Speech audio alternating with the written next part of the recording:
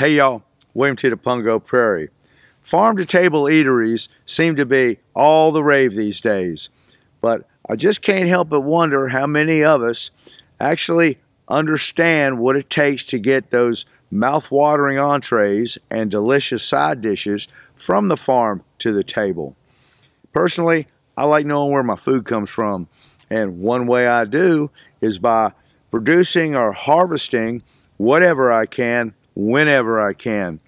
In this video, I'm going to invite y'all to come along with me on a little whitetail deer hunt where I'm bringing the harvest of the forest to the table and show you all the little steps in between. So if you think you're up for it, don't go nowhere because you don't want to miss this.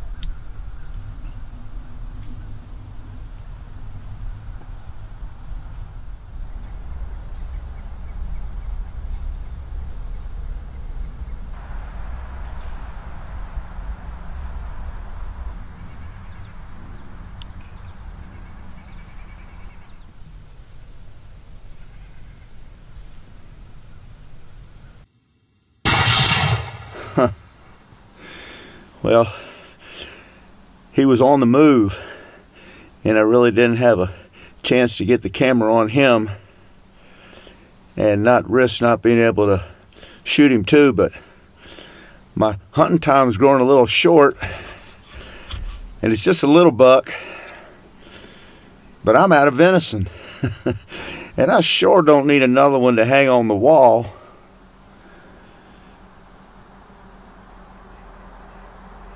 He's laying over there about 60 yards. One quick, clean shot. I don't know if you can see him or not. But he's laying right there in the center of the frame. You can see the white. Besides, I've been needing to shoot a video on how to cook up deer heart. Hopefully I didn't mess it up too bad. uh, let's go check him out. Frosty this morning with this clover here, this power line.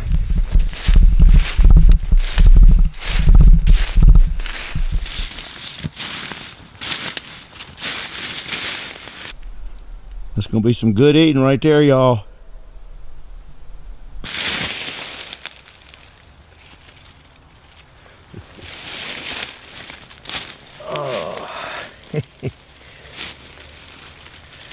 nice little buck. Gonna make for some great venison suppers there. No doubt. All right, let's get him gutted out. Roll up your sleeves for this one. First time in my life I've ever gutted a deer or anything else for that matter with a pair of gloves on. But old Ron was up here a few weeks ago. I think it was Ron. Left a box of them. And I said, why not? Alright, little feller. Tell you, the best part about this is I'm going to be able to drive the mule right to him. I don't have to drag him. All I got to do is lift him. He was quartering away. I shot right in there behind that shoulder. He took about a hop or two and that was it right up in the center of that brisket. I actually have another knife in my pack that's got like a, a gut hook on it. Makes it a little bit easier for not puncturing any entrails. Hold with your two fingers hold that open. I lost my favorite knife up here a couple weeks ago. Sure would like to have it about now. Cut that diaphragm. Free all that up. This side here. Feels like the heart's in pretty good shape. I'm gonna tear the tenderloins. Careful with that. Let's see what we got here. I'm to nick the heart a little bit. But overall, it's pretty good shape. Okay, I'm just to lay it right there a minute. Cut that bladder out of there without getting urine on the meat. That's good. You always keep Ziploc bag in your pack. And that way, you got something for your heart. Alrighty. There's our liver. That in that same old stack. I'm gonna leave that open so it can cool out there a little bit.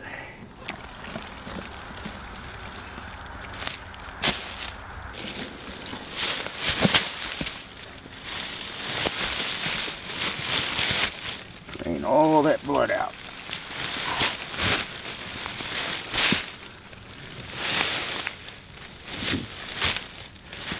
All right, that's the worst of that. Them gloves, they did all right. Didn't get too much blood on me.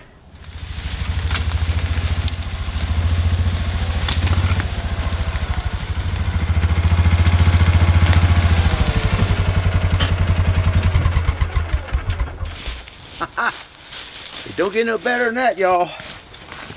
It don't get no better than that. No long drag down on the top of the mountain. Another set of hands would be good right about here. We're gonna see what we can do. ain't that heavy till you go trying to lift him by yourself. Should have brought a, come along, huh?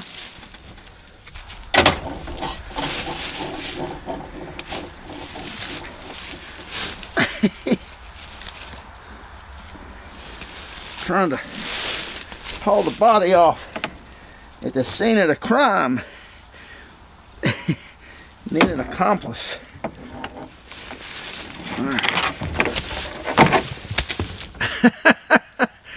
we'll try something different. My age, in this point in life, you gotta work smarter, not harder.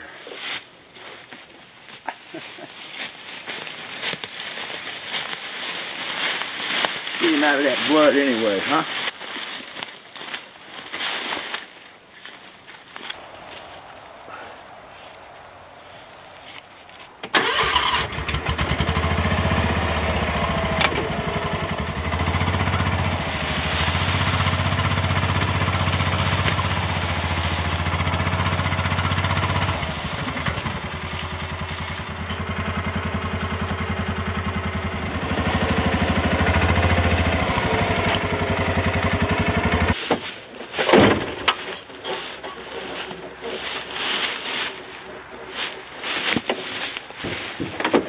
Got him in the box now.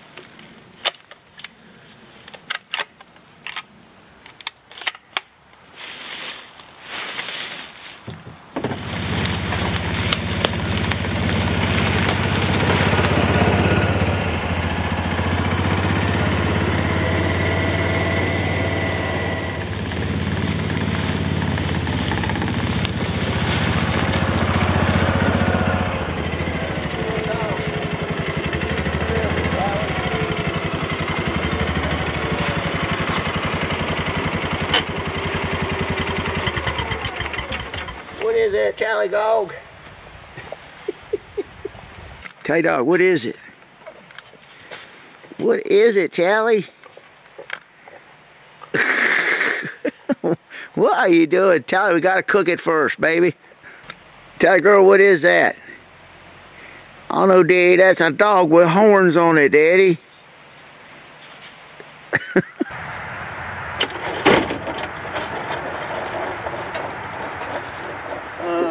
See, Tally girl, we gotta get her turned get him turned around here.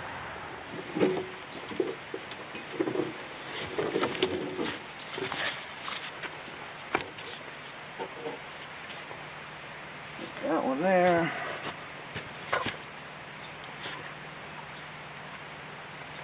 That one there. Yeah, right there.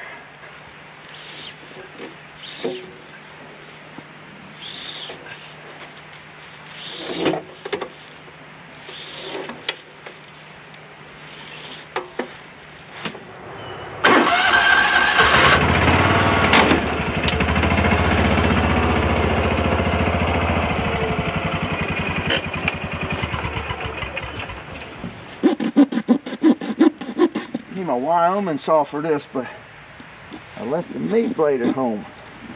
Leaving everything at home this year, Tally Dog. You damn glad you didn't leave me at home.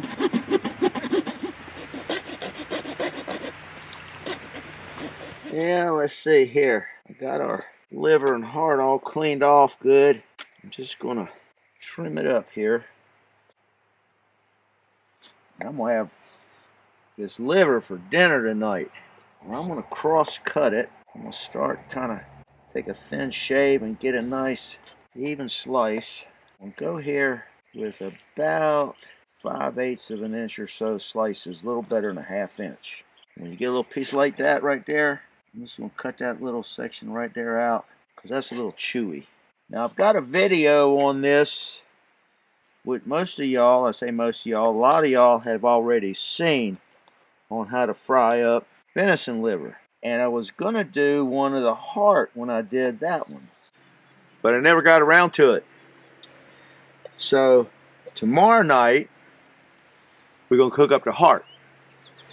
Now, I was trying not to hit the heart, want to keep it intact, but uh, because it was a downward angle, I was up in that box blind, it was a downward angle and the deer was kind of quartering away from me. I mostly took out the lungs, but I just did get a little nick in the heart right here. But I don't think it's going to mess it up too bad. Tally girl, it's going to be some good supper tonight, baby. Yeah, Daddy. I see already it's going to be good. Get your nose out of there. You'll get some, but not right yet. All right, these ones we're going to have for dinner tonight. I'm putting this little Ziploc bag here. Tally girl, you're licking your chops, aren't you, baby? yeah, I'm just going to put those slices right here in this little Ziploc bag. And I usually like to soak this liver in buttermilk, but I don't have any buttermilk, so I'm just going to use regular whole milk. I'm just going to soak that liver in that milk till we're ready to fry it up a little later on this evening. And these little pieces I trimmed up from that small lobe we're going to saute up in some olive oil for Tally Girl. We got our liver soaking in the milk there. And we're going to just let our heart kind of dry age next to that bag of ice in this little cooler, baby. Some liver and onions for supper. Good, Girl. You know I can't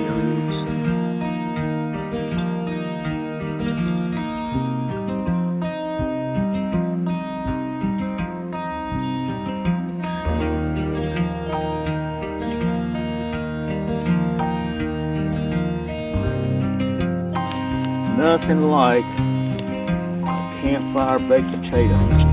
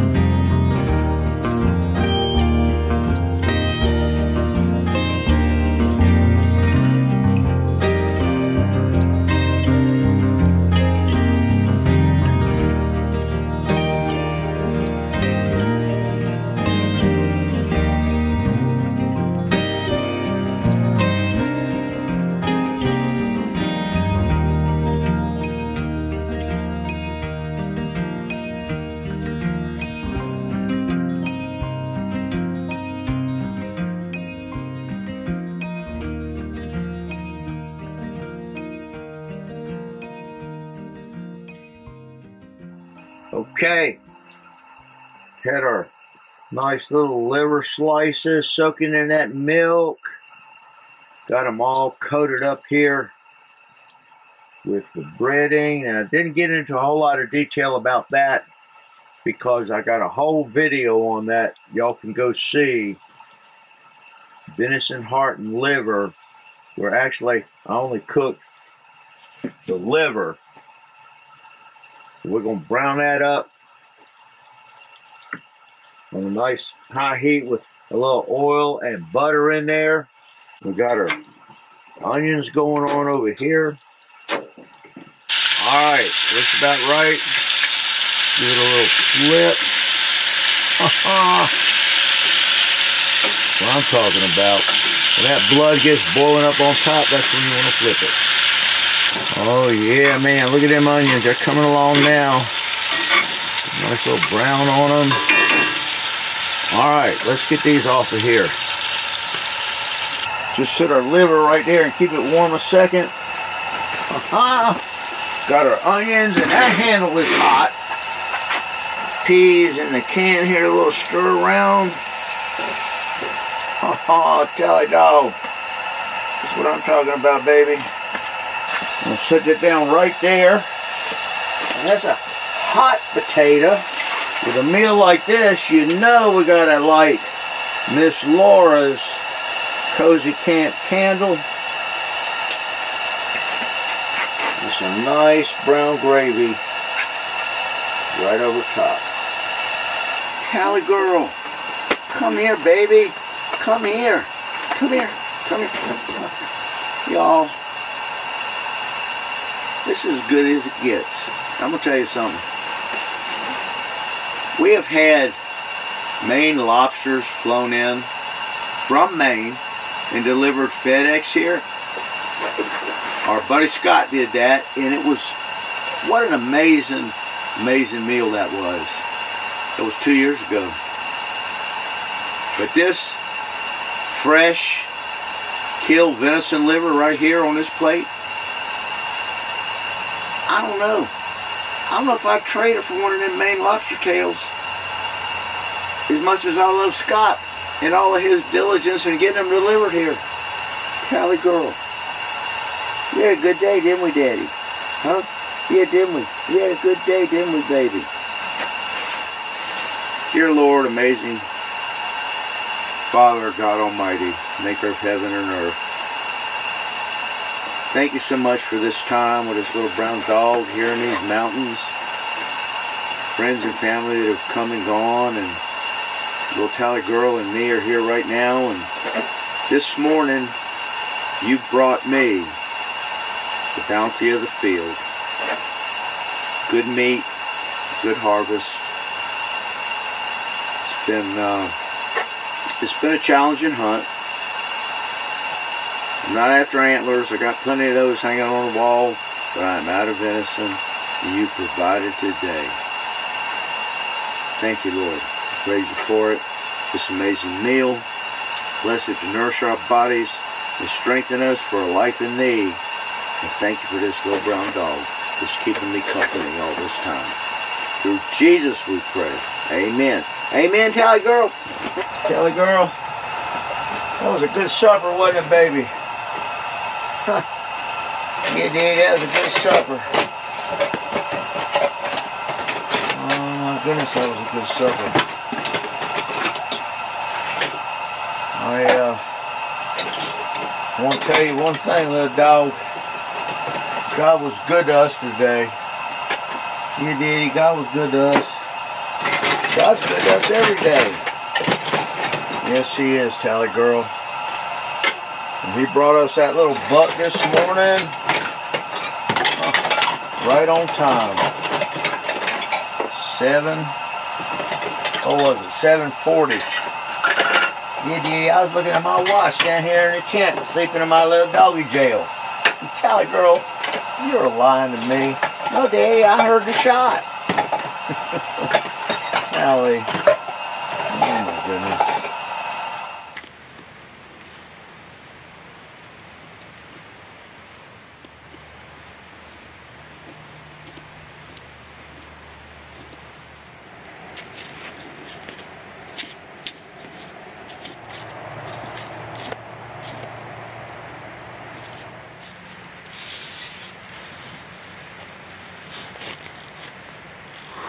Little blowtorch here just kind of singes off any of those little pieces of hair.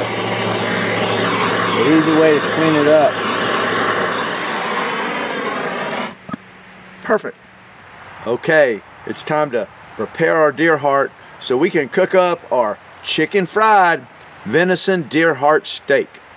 And a lot of people when they're going to cook venison heart, and I do this sometimes, they'll just slice it across like so and make medallions, maybe about an inch or half inch thick or so.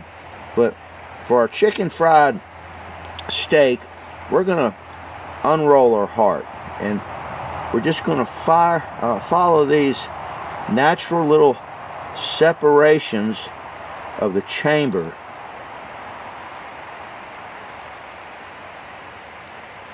just like so see how you got that chamber there?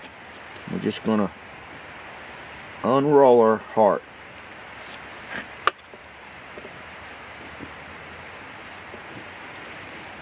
It's just like unwrapping a Christmas present. Now we had a little bit of trauma from where that bullet hit the top of it. Now I'm gonna cut that out of there. I'm gonna cut this part right here out off the top where that tendon is or whatever. And I'm going to take and trim off that little piece of trauma right there. Clean that up a little bit.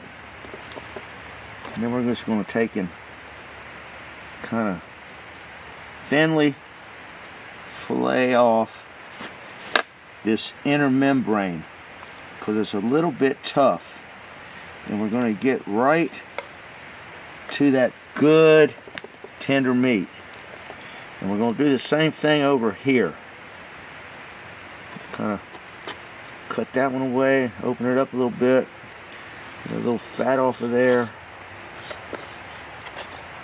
And then we're going to just kind of fillet off. See those tendons that constrict that muscle to make it pump. I'm going to cut all that out of there because we don't want a chewy chicken fried venison steak. Get this little bit of trauma right here. Just trim that little piece for aesthetics, huh? Make it look appetizing. One more little piece right there. All right. So this we're just going to discard or feed to the cat or tally girl. And what you got here is two, well, one unraveled heart, but you've got two really nice cuts to separate right there that we're going to make our chicken fried steak out of. And right here, I got this meat mallet. And we're gonna pound out that, that heart, those two pieces. And we're gonna use this little diced up side here so we can kind of cube it up like a cube steak. This is gonna tenderize it and it's gonna kind of flatten it out a little bit. Flip it over and get this side. You wouldn't even have known that's a deer heart if you hadn't seen me cut it out of that deer's chest yesterday, now would you? Now I'm all about, once you get your meat processed, making it look appetizing. And right here I'm just gonna go with a little bit of this pink Himalayan sea salt, just a little teeny bit, because there's a bit of salt in the uh, breading mix and some of this pepper here, fresh cracked pepper. And we'll get both sides.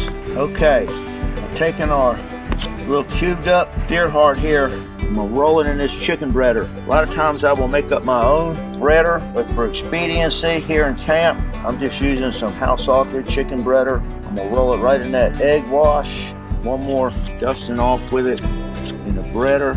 Some nice coating on it there. This breader has some seasoning in it. That's why I didn't want to use too much of the other. I'm gonna go right here on this little rack. You know, we're gonna get the other. If you wanted to, you could add some coat breadcrumbs to this.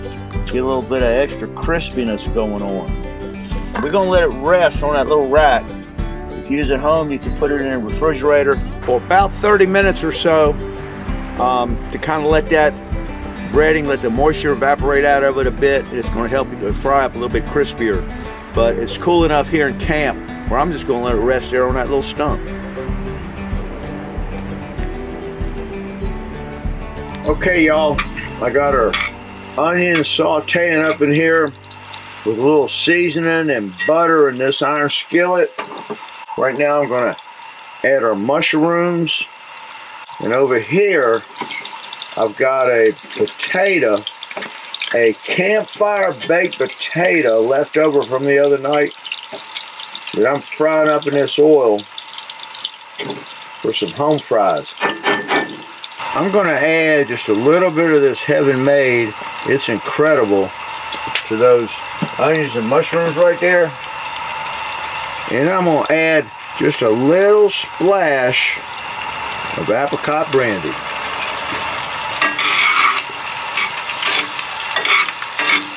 In goes our deer heart.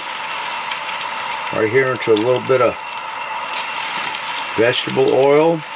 Just giving it about two and a half minutes or so until that blood starts rising on top.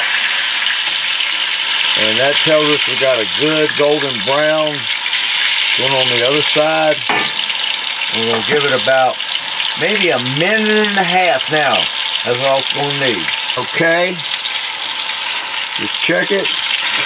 I think we're there. I'm just going to put it on this little paper plate right here. We got some of our onions and mushrooms. I'm just going to put a little bit of that on each one of these steaks right here. We got our fried potatoes. Excuse my fingers. We'll put those right there. This is that country gravy. We're going to just spoon that right over top. Look how nice and thick that is. I saved the water from the mushroom can and added that into the gravy. Some leftover peas from last night's venison and liver dinner. We don't want those to go to waste. Oh my goodness. Would you look at that right there? We're going to light Miss Laura's Cozy Camp candle because this is a meal worthy of it. And I made a nice little salad here with fresh romaine, tomatoes, carrots, celery, and Greek olives. Would you look at this? What an amazing meal. The fruit of the bounty of the field that God has blessed us with here in this little camp alongside that little creek running out there is called Bratton's Run. Precious Lord God Almighty, thank you so much for this time here in your beautiful, majestic mountains, for the harvest of the field, the fruits of our labor, delivering us this tasty, nutritious meal. Dear Lord, I pray for our families, my family, the families of all of those watching this video, and Lord, thank you so much for them. As we are coming upon another Thanksgiving, which is so different this year, nevertheless, we will be having Thanksgiving, in spite of what some of the politicians say, you can't gather, stay home. We're going to be giving thanks. And thank you now for this amazing abundance upon my table. In Jesus' name we pray. Amen. Okay, y'all. I've just got to show you this so you know I'm not kidding. I'm put it right here in the middle. Look at that. Huh? You look at that? Right there? That's what I'm talking about. Perfect.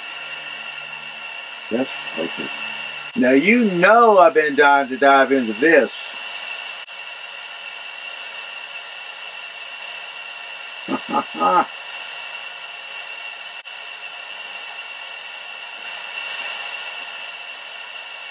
hmm.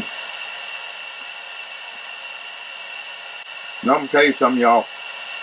That right there, that's some hearty, good comfort food.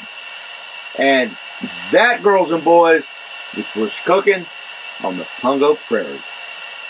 Come and get you. Oh, tell you, girl. The lantern went out. That's alright. We got good hot water here to do these dishes with. Kelly girl, we had a good couple of days, didn't we, baby? We got deer skin out today. We had to drive all the way to Fishersville to get the little cast iron Dutch oven they were supposed to deliver here to camp.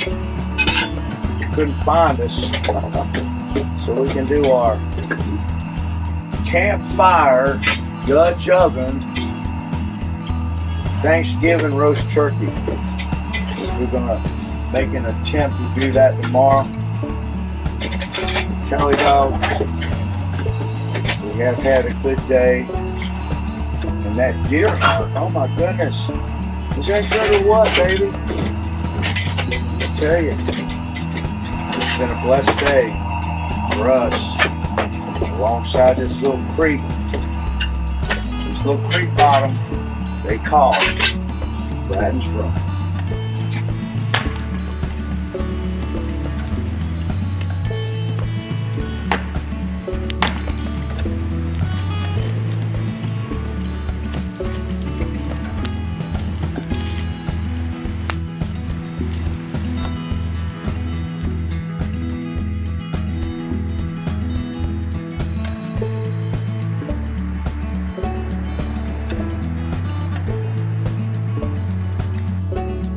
Like girl, guess we better go ahead and get this deer cut up. I want to let it hang another day, but two days of borderline temperature, better go ahead and get it in these pans and set in the cooler on ice.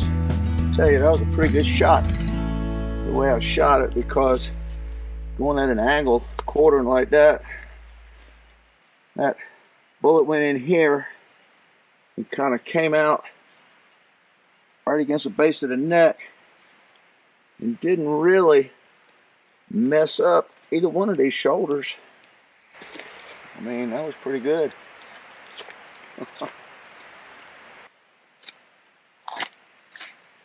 okay.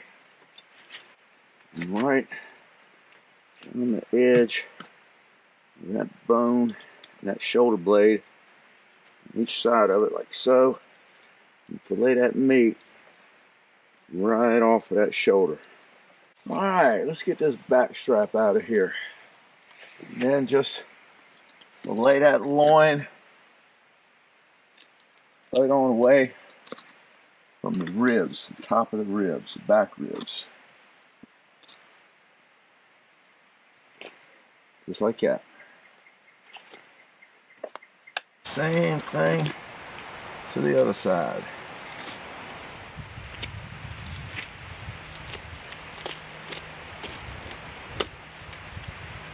Perfect. All right. Two pretty back straps. Now we're going to get our tenderloin. A lot of folks refer to the back strap as the tenderloin, but actually that's the loin and the tenderloin is inside right here. These two little strips that would be equivalent to your tenderloin of beef. Some people call it sweet meat. You just kind of carve that out the little cavity that it's in there. Kind of like a cavity. Staying close to the bone you want to get as much of it as you can. See, and that's a really nice tender cut. It's good to grill up fresh.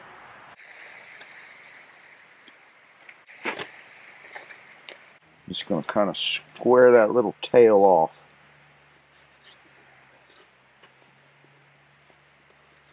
All right.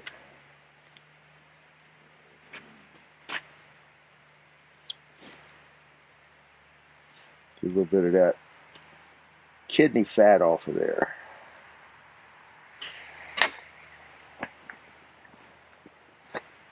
Now I think I'm going to cut each one of our back straps, a loin, in four pieces. I'm going to cut it in half and then in half again. That way, when I'm cook it up, I like to do that, uh, what they call Jen Lolly's recipe, venison Bordeaux backstrap. That right there will serve two people. On the outside is this silver skin. I like to leave that on there when I freeze it because it helps to protect it from freezer burn. And then I'll I'll fillet that off, shave that off when I cook it because that's a that's a pretty tough membrane right there. Put our loin right here in our uh, pan with our tenderloins. And these are these are some of the uh, front part of that loin against that neck. It's still a pretty tender chunk of meat. That'll be good in a stew or chili. I always like to add a little bit of meat like that to my ground meat when I'm making chili. Alright, let's get to hams. Now I'm going to work my knife right on around this pelvic bone here and separate that ham, fillet it off of that pelvic bone, and then separate it right at the ball and hip joint, which is going to be right along in here. And the other thing you can do is come right around back into the spine and cut it on this side, and that'll help give you a guide of how to get around that pelvic bone you work your knife right around that bone like that. And then just fillet it right on off. Now some folks will cut those back straps back a little farther like that and get this piece right here. But I like to keep that attached to the ham for now because there's a lot of different things you can do with this. And it really doesn't matter. It's just a matter of preference, I guess, or what you prefer. I like to keep that for sirloin. And what you do here, you just work the tip of your knife right around that ball and socket joint at that hip bone. Now I've got it just about free, but I'm going to work on the other side and get that just about free so I don't have to worry about working on this thing lopsided for very long. You'll, you'll see what I mean here in a second. We got that side free. And we'll come back in here and just get this other one See, that's what I'm talking about lopsided. See it goes lopsided. It pinches the knife against that bone that you're trying to work away from. We got us a pair of swinging hams. Okay, we're just to trim these hams up a little bit before we get them on the table. So we're to break them down. into uh, the different cuts we want.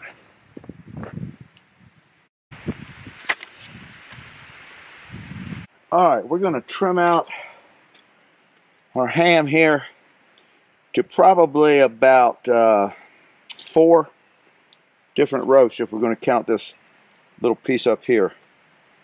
And we're going to follow our um, our natural separations kind of gives you a guide to go by. And down here, this will be our bottom round, this will be our top round. And this section right here, to me, we're going to cut out of there is our broil.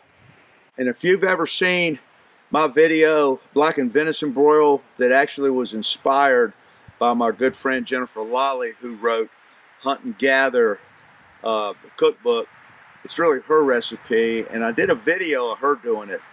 And you can't believe how tender and delicious this cut of meat is. I really like it better than the loin, the backstrap.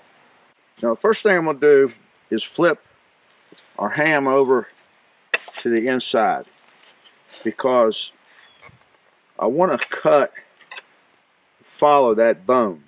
And it's easier to do that from the inside before I start uh, separating these different cuts. And I'm going to get it right away from our bone. And the bone kind of runs at an angle so it folds you to where you think. See, it's kind of coming back this way towards this, I guess it's a knee joint. But keep your knife right on that bone as you go down and you can't go wrong. We've got our knife riding right on that that bone. That bone will come right on out of there. You're going to get right here to this joint and we're going to go cut our meat through those tendons right on away from that knee joint. What we're going to end up with here is our whole ham completely boned out. There you go. Now we're going to keep going on the inside here following the natural separations of our different muscles. God kind of gave us a plan here for how to do this. And then just cut right on through with that natural separation. Now, remember I showed you, I'm going to show you something here. Remember when I showed you on the other side,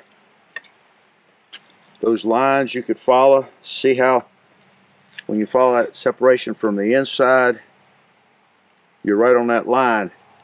But by doing it from the inside,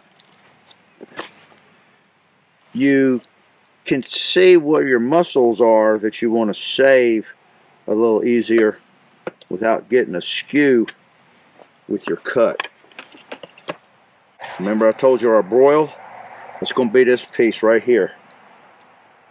So we're going to do the same thing. We're going to go right here. Move this out of the way a minute.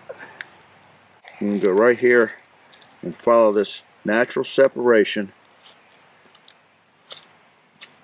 Right like so.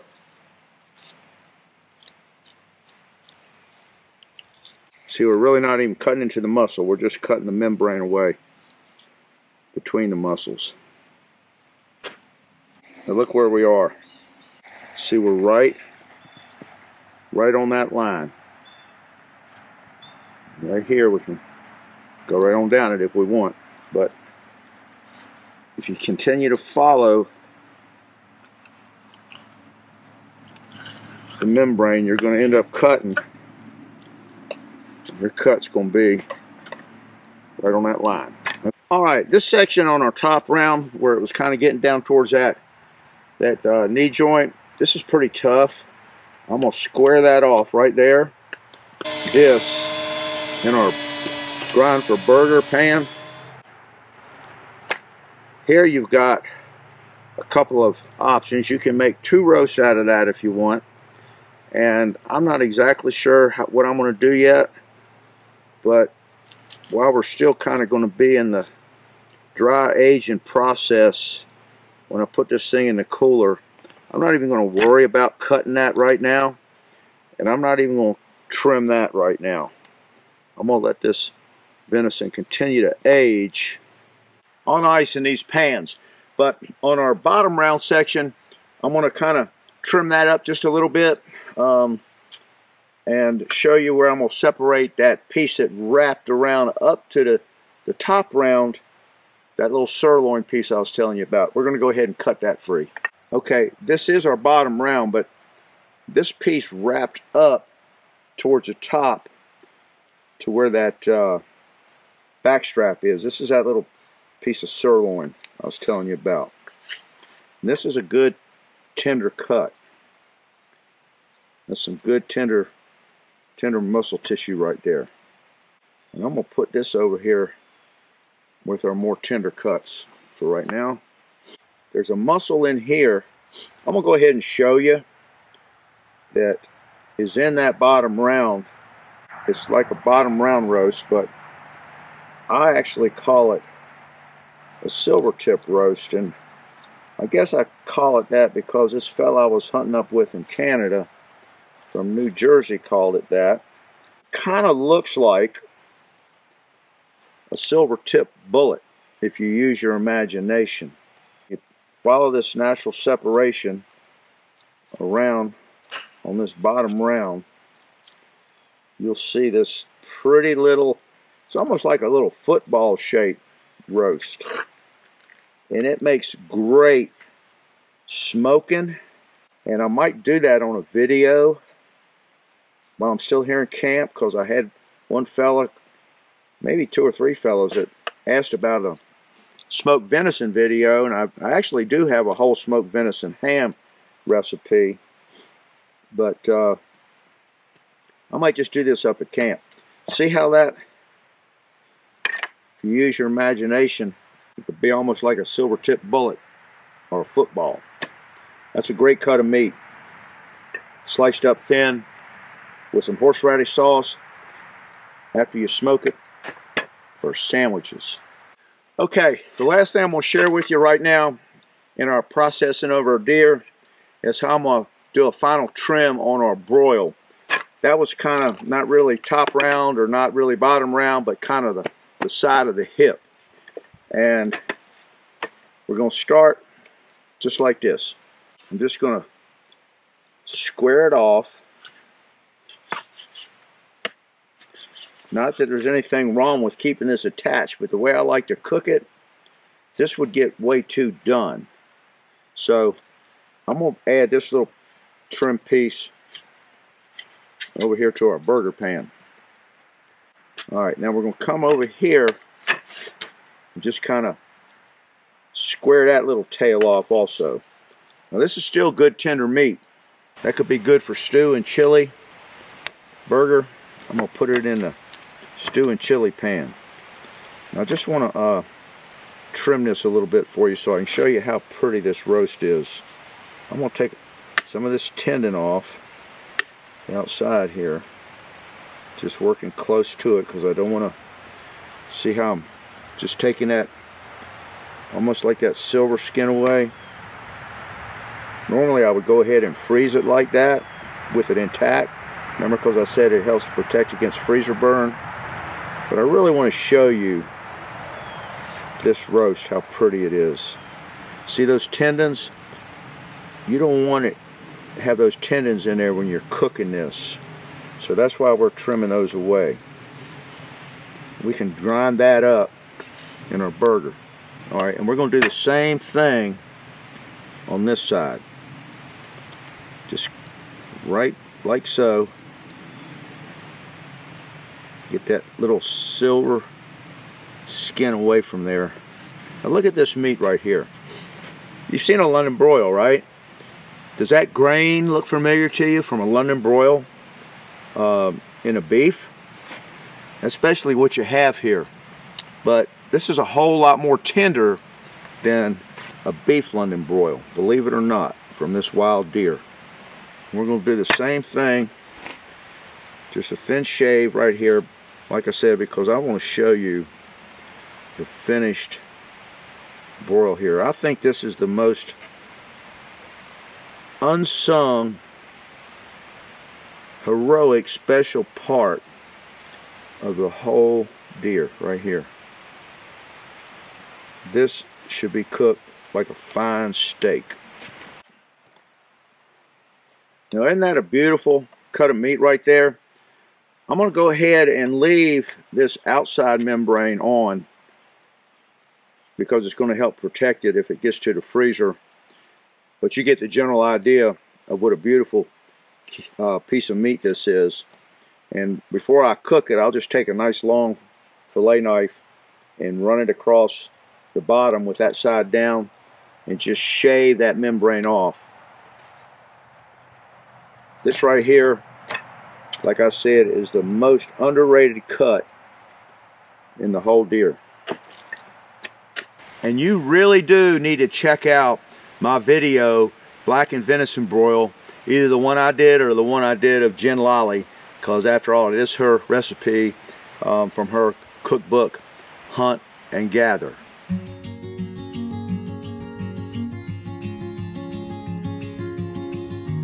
Well, you know what hunters say when they shoot a little buck. You can't eat the horns, but you sure can eat this. Oh my goodness.